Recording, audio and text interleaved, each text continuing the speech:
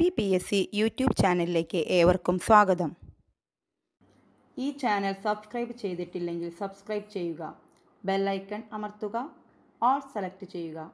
ഈ വീഡിയോ ഇഷ്ടമായെങ്കിൽ ലൈക്ക് ചെയ്യുക ഷെയർ ചെയ്യുക. ഹാപ്പി പി എസ് സിയിലേക്ക് ഏവർക്കും സ്വാഗതം. ഞാൻ ജാസ്മിൻ ടീച്ചർ. ഇന്ന് പ്രിലിംസിന്റെ ഫിഫ്റ്റി ഫിഫ്റ്റി അഞ്ച് ടോപ്പിക്കുകൾ അമ്പത് ചോദ്യങ്ങളായിട്ടാണ് ടീച്ചർ വന്നിരിക്കുന്നത്. ഇത് അഞ്ചാമത്തെ പാർട്ടാണ്. അപ്പോൾ ഇതിൽ ടീച്ചർ ഉൾപ്പെടുന്ന അഞ്ച് ടോപ്പിക്കുകൾ ഇതാണ്. കറണ്ട് അഫയേഴ്സ് കലാ സാംസ്കാരിക മേഖല താപവും ഊഷ്മാവും സൗരയൂഥവും സവിശേഷതകളും രോഗങ്ങളും രോഗകാരികളും. ഈ അഞ്ച് ടോപ്പിക്കിൽ നിന്ന് ഓരോ ടോപ്പിക്കിൽ നിന്നും പത്തീശ ക്വസ്റ്റ്യനാണ് ടീച്ചർ കൊണ്ടുവന്നിരിക്കുന്നത്. അപ്പോൾ ഇതുപോലെ എല്ലാ ദിവസവും ടീച്ചർ ഒന്നോ രണ്ടോ വീഡിയോ നിങ്ങൾക്ക് ലഭിക്കുന്നതായിരിക്കും. സോ നമുക്ക് വീഡിയോയിലേക്ക് കിടക്കാം. ആദ്യത്തെ ചോദ്യം. കറണ്ട് അഫയേഴ്സ് എന്നാണ് ആദ്യത്തെ ചോദ്യം. നമുക്കറിയാം ഇപ്പോൾ കറണ്ട് അഫയേഴ്സിൽ നിന്ന് പത്തിലധികം ചോദ്യങ്ങൾ വന്ന ക്വസ്റ്റ്യൻ പേപ്പർ പോലും നമ്മൾ കണ്ടു കഴിഞ്ഞു. ഓക്കെ ജോ ബൈഡൻ അമേരിക്കയുടെ എത്രാമത്തെ പ്രസിഡന്റാണ് ജോ ബൈഡൻ അമേരിക്കയുടെ നാൽപ്പത്തി ആറാമത്തെ പ്രസിഡന്റാണ്. ജോ ബൈഡൻ അമേരിക്കയുടെ എത്രാമത്തെ പ്രസിഡന്റാണ്? നാൽപ്പത്തി ആറാമത്തെ അമേരിക്കയുടെ ആദ്യ വനിതാ വൈസ് പ്രസിഡന്റ് ആരാണ്? ഇന്ത്യൻ വംശജയായ കമലാ ഹാരിസ് ആണ് അമേരിക്കയുടെ ആദ്യ വനിതാ വൈസ് പ്രസിഡന്റ്. അമേരിക്കയുടെ ആദ്യ വനിതാ വൈസ് പ്രസിഡന്റ് പേരപ്പോൾ എന്താണ് മക്കളെ? ഇന്ത്യൻ വംശജയായ കമല ഹാരിസ്. ആ ഒരു ഇന്ത്യൻ വംശജ എന്നാണ് നമുക്ക് ഇമ്പോർട്ടന്റ് അതുകൊണ്ട് പരീക്ഷയ്ക്ക് ചോദിക്കാം. നെൽവയൽ ഉടമകൾക്ക് അതായത് നമ്മൾ പാടത്ത് പണി ചെയ്യ പാടങ്ങളുള്ളവരുണ്ടല്ലോ അവ ഉടമകൾക്ക് ഹെക്ടറിന് പ്രതിവർഷം രണ്ടായിരം രൂപ നിരക്കിൽ റോയൽറ്റി വിതരണം ഏർപ്പെടുത്തിയ ഇന്ത്യയിലെ ആദ്യത്തെ സംസ്ഥാനമാണ് കേരളം. നമ്മുടെ സംസ്ഥാനമായ കേരളമാണ്. നെൽവയൽ ഉടമകൾക്ക് ഹെക്ടറിന് പ്രതിവർഷം രണ്ടായിരം രൂപ നിരക്കിൽ റോയൽറ്റി വിതരണം ഏർപ്പെടുത്തിയ ഇന്ത്യയിലെ ആദ്യത്തെ സംസ്ഥാനം. വെരി ഇമ്പോർട്ടന്റ് കേരളത്തിലെ ആദ്യത്തെ കൈത്തറി മ്യൂസിയം എവിടെയാണ് സ്ഥിതി ചെയ്യുന്നത്? കണ്ണൂര്. കേരളത്തിലെ ആദ്യത്തെ കൈത്തറി മ്യൂസിയം കണ്ണൂര്. ഇന്ത്യയിലെ ആദ്യത്തെ കണ്ടൽക്കാട് മ്യൂസിയം എവിടെയാണ്?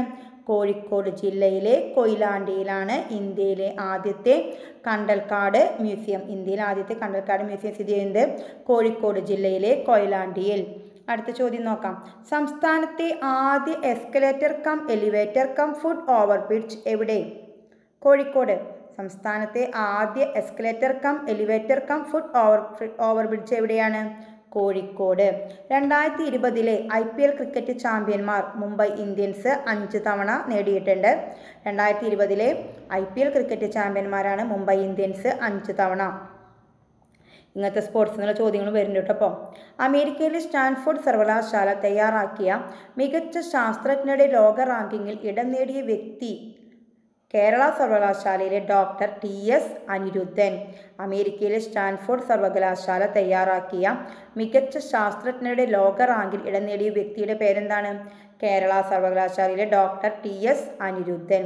Prem Nazir സാംസ്കാരിക സമുച്ചയം നിലവിൽ വരുന്ന ജില്ല തിരുവനന്തപുരം ജില്ലയിലെ ചിറയൻകീഴ്. തിരുവനന്തപുരം ജില്ലയിലെ ചിറയൻകീഴാണ് പ്രേംനസീർ സാംസ്കാരിക സമുച്ചയം നിലവിൽ വരുന്ന ജില്ല തിരുവനന്തപുരം ജില്ലയിലെ ചിറയിൻകീഴ് അവസാനത്തെ ചോദ്യം ഈ ഭാഗ കറണ്ട് അഫയേഴ്സിൽ നിന്ന് പത്ത് ലക്ഷത്തിൽ താഴെ ജനസംഖ്യയുള്ള നഗരങ്ങൾ കേന്ദ്രീകരിച്ച് കേന്ദ്ര സർക്കാർ നടപ്പിലാക്കുന്ന മെട്രോ റെയിൽ പദ്ധതിയുടെ പേരാണ് നിയോ മെട്രോ നിയോ മെട്രോ പത്ത് ലക്ഷത്തിൽ താഴെ ജനസംഖ്യയുള്ള നഗരങ്ങൾ കേന്ദ്രീകരിച്ച് കേന്ദ്ര സർക്കാർ നടപ്പിലാക്കുന്ന മെട്രോ റെയിൽ പദ്ധതിയുടെ പേരാണ് നിയോ മെട്രോ അടുത്തത് നമ്മൾ കലാ സാംസ്കാരിക മേഖലയുമായിട്ട് ബന്ധപ്പെട്ട പത്ത് ചോദ്യങ്ങളാണ് നമ്മൾ ഇന്ന് പഠിക്കാൻ പോകുന്നത്.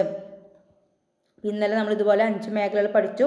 പത്തീച്ച് ചോദ്യങ്ങൾ പഠിച്ചു. അപ്പോൾ അമ്പത് ചോദ്യം ഓൾറെഡി പഠിച്ചു കഴിഞ്ഞു. ഇതും അതിൽ നിന്ന് വ്യത്യസ്തമായ അഞ്ച് ടോപ്പിക്കുകളാണ് രണ്ടായിരത്തി പത്തൊൻപതിൽ ഭാരതരത്നം നേടിയവർ ആരാണ്? പ്രണാബ് മുഖർജി ഭൂപൻ ഹസാരിക നാനാജി ദേശ്മുഖ്. പരീക്ഷയ്ക്ക് ചോദിക്കാവുന്ന ഒരു നല്ലൊരു ചോദ്യമാണ്. രണ്ടായിരത്തി പത്തൊമ്പതിൽ ഭാരതരത്നം നേടിയവർ പ്രണാബ് മുഖർജി ഭൂപൻ ഹസാരിക നാനാജി ദേശ്മുഖ്. രണ്ടായിരത്തി ഇരുപതിൽ പത്മശ്രീ പുരസ്കാരം നേടിയ മലയാളികൾ അങ്ങനെ പഠിക്കുമ്പോൾ അങ്ങനെ പഠിക്കണം. പത്മശ്രീ പുരസ്കാരം നേടിയ മലയാളികളുടെ പേര് എന്താ പഠിക്കണം? അവ അവർക്ക് എന്തിനാണ് കിട്ടിയതെന്ന് പഠിക്കണം. ശ്രീ എം കെ കുഞ്ഞോൾ സാമൂഹ്യ പ്രവർത്തനം. ശ്രീ കാട്ടുങ്ങൽ സുബ്രഹ്മണ്യം മണിലാൽ ശാസ്ത്ര എഞ്ചിനീയറിംഗ്.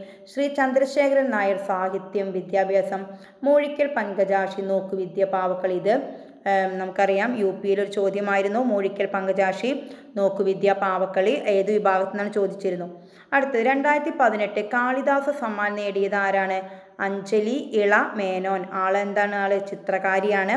ചിത്രകാരിയായ അഞ്ജലി ഇള മേനോനാണ് രണ്ടായിരത്തി പതിനെട്ടിലെ കാളിദാസ സമ്മാന് അർഹനായത് അർഹയായത്. അടുത്ത ചോദ്യം. ദാദാ സാഹിബ് ഫാൽക്കെ പുരസ്കാരം രണ്ടായിരത്തി പതിനെട്ടിൽ നേടിയത് ആരാണ് അമിതാഭ് ബച്ചൻ? ദാദാ ഫാൽക്കെ പുരസ്കാരം രണ്ടായിരത്തി പതിനെട്ടിൽ നേടിയത് അമിതാഭ് ബച്ചനാണ്. ഹോർത്തൂസ് മലബാറിക്കസ് മലയാളത്തിലേക്ക് വിവർത്തനം ചെയ്ത സസ്യശാസ്ത്രജ്ഞൻ ആരാണ്? കാട്ടുങ്ങൽ സുബ്രഹ്മണ്യം മണിലാൽ. ഹോർത്തൂസ് മലബാറിക്കസ് മലയാളത്തിലേക്ക് വിവർത്തനം ചെയ്ത സത്യശാസ്ത്രജ്ഞനാണ് കാട്ടുങ്ങൽ സുബ്രഹ്മണ്യൻ മണിലാൽ. രണ്ടായിരത്തി പത്തൊൻപത് നെഹ്റു ട്രോഫി വള്ളംകളി ജേതാക്കൾ ആരാണ്? നടുഭാഗം ചുണ്ടൻ.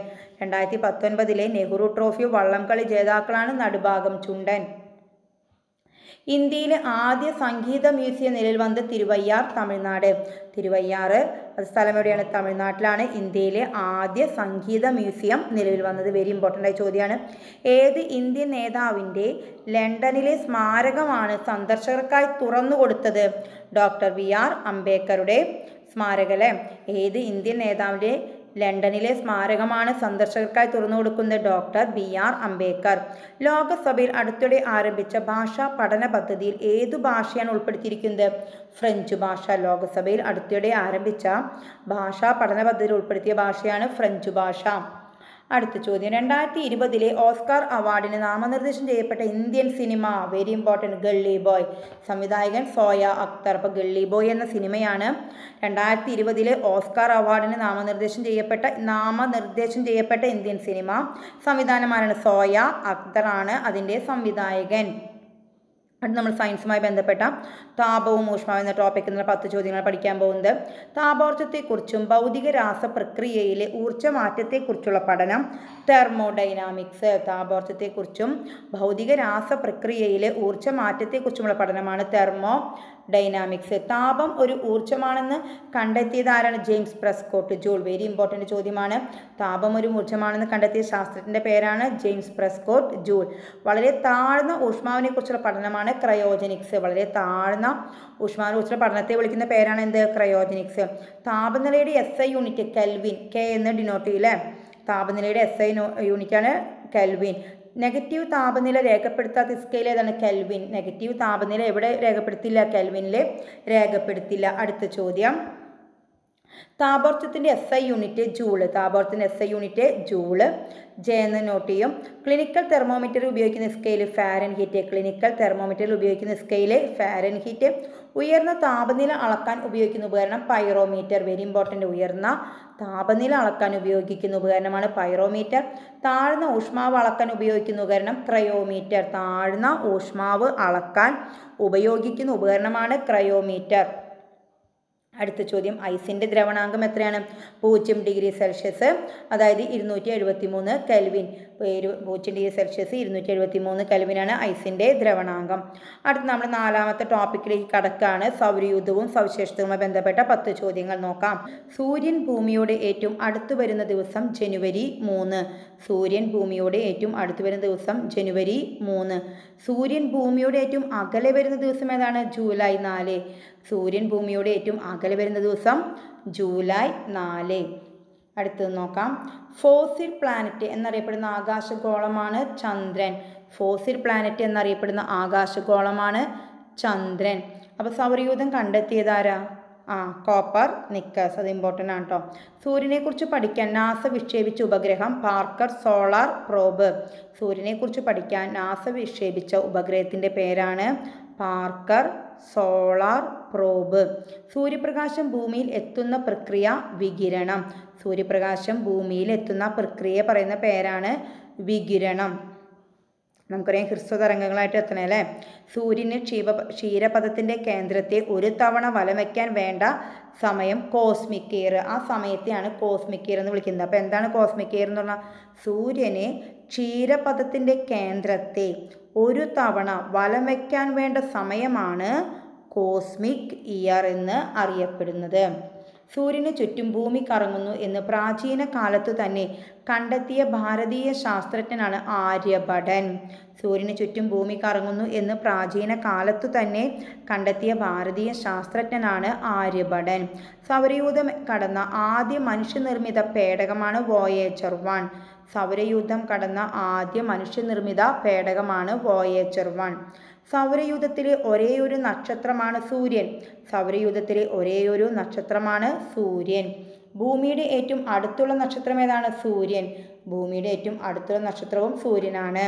നമ്മൾ അടുത്ത അടുത്ത ടോപ്പിക്കിലേക്ക് കടക്കാൻ പോവാണ് രോഗങ്ങളും രോഗകാരികളും.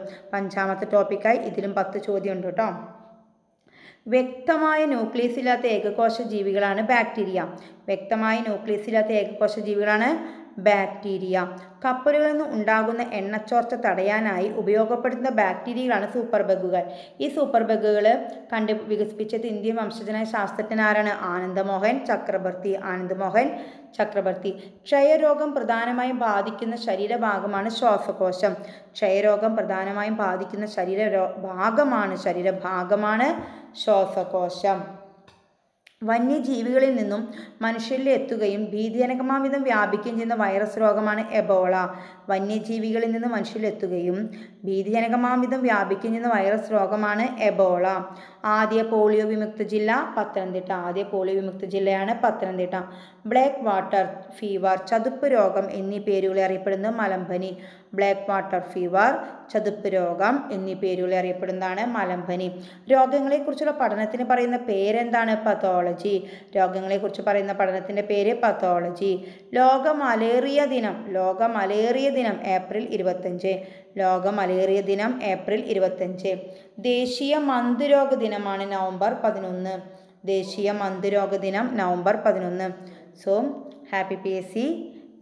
ഇതിലെ ഇന്നത്തെ പ്രിലിംസിന് അമ്പത് അമ്പത് ചോദ്യങ്ങൾ ഇവിടെ കഴിയാണ്. അഞ്ച് ടോപ്പിക്ക് പത്ത് ചോദ്യങ്ങൾ വീതം. അൻപത് ചോദ്യങ്ങൾ നമ്മൾ പഠിച്ചു കഴിഞ്ഞു. അപ്പോൾ നിങ്ങൾക്ക് ഇത് അഞ്ചാമത്തെ പാർട്ടായി ഇതിന് മുമ്പുള്ള വീഡിയോസ് നിങ്ങൾ കാണാം. അപ്പോൾ ഹാപ്പി പി ഇഷ്ടപ്പെട്ടെങ്കിൽ ലൈക്ക് ചെയ്യുക ഷെയർ ചെയ്യുക സബ്സ്ക്രൈബ് ചെയ്യുക. നിങ്ങളുടെ ഫ്രണ്ട്സിനോട് ഈ വീഡിയോയെക്കുറിച്ച് തീർച്ചയായും പറയണേ. താങ്ക്